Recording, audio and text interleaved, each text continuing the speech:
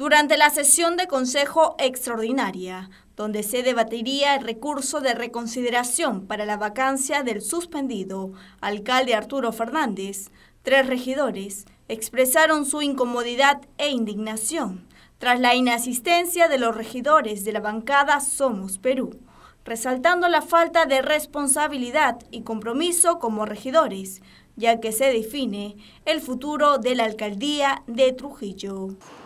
Lamento mucho la ausencia de los colegas.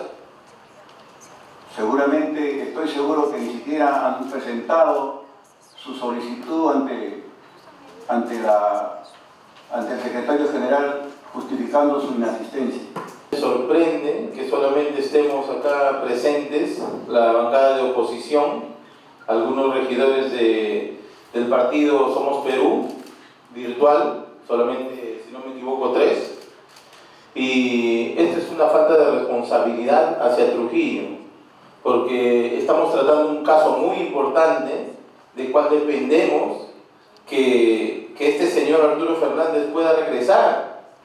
Y es lamentable, y ahí, eh, bueno, la ciudad de Trujillo ya sacará sus propias conclusiones, porque deberíamos haber estado todos acá y poder haber alzado nuestra voz, ¿estamos a favor o estamos en contra?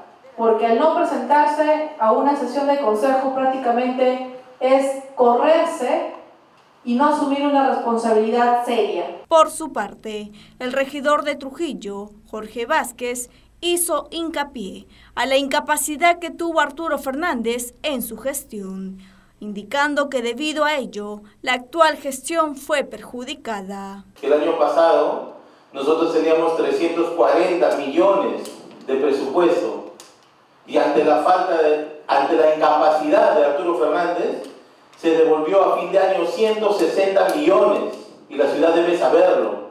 Y estos 160 millones nos han hecho un hueco presupuestal para esta gestión, del, esta gestión nueva que comenzó el 9 de enero. Ahora no, ya, ya no tenemos 340 millones, ahora tenemos 230 millones. Y en inversión pública, de lo que teníamos aproximadamente 100 millones, tenemos solamente 40 millones. Todo por culpa de la, de la incapacidad de Arturo Fernández. Los concejales lamentaron mucho esta situación, ya que se trata del futuro de la provincia de Trujillo, manifestando que su decisión debería estar enfocado en el desarrollo de la comuna y no por intereses personales.